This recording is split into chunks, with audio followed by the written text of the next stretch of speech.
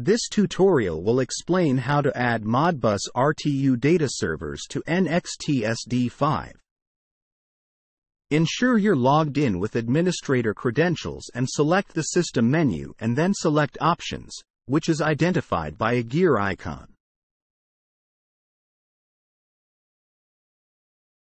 Within the Options dialog, use the Page button in the top right corner to change screen until the networking options are visible. A new data server can be created by clicking the Add Data Server button. Choose the NXT-SD5 port to use for the Modbus RTU data server. Ports used to communicate with devices like NXF4000 are already in use, so they won't appear in this list. Once a port has been used for a Modbus RTU data server, it won't be available to communicate with devices. This example will use NXT-SD5's port 2. Multiple Modbus RTU data servers can be created, as long as there are unused COM ports.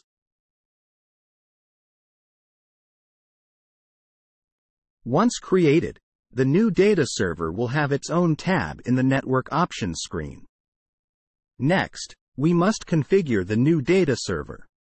Ensure NXT-SD5's Modbus ID is set, and adjust baud rate as desired.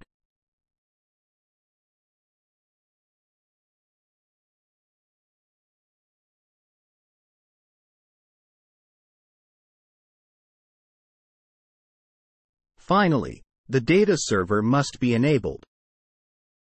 When changes are made to the server's configuration, a warning icon will appear next to the Accept Changes button.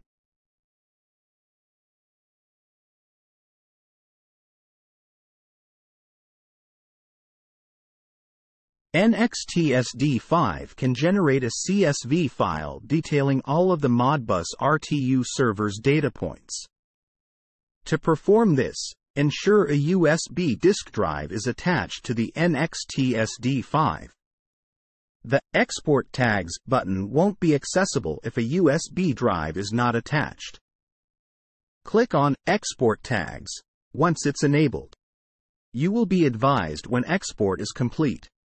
Change to the Options Miscellaneous screen and ensure you properly eject the USB drive before removing it from NXT-SD5. The created files will appear on the USB drive in a Fireye folder. They will have the same content as the Modbus TCP server files. Check the previous tutorial for an explanation of these files. Next, connect across the network with a Modbus RTU client. In this example, we're using ModScan. Set the Modbus address the client communicates with to 1, which is the same as the NXT-SD5 server.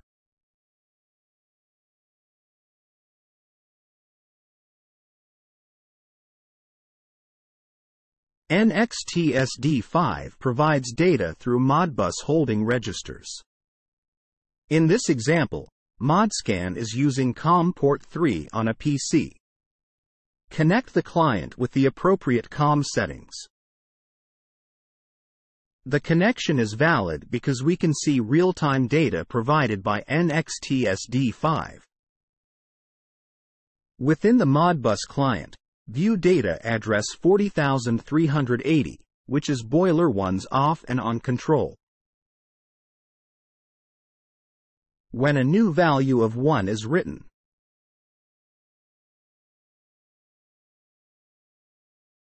NXT-SD5's Modbus RTU server receives the command from the client and turns boiler 1 on. Let's test another point. Within the Modbus client, data address 40383 is boiler 1's auto or manual mode control. When a new value of 1 is written,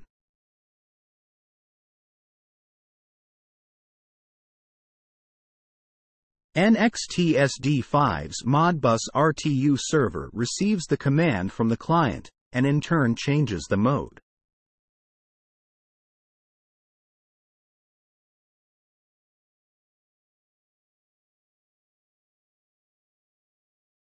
Modbus RTU servers can be disabled and removed if they're no longer required.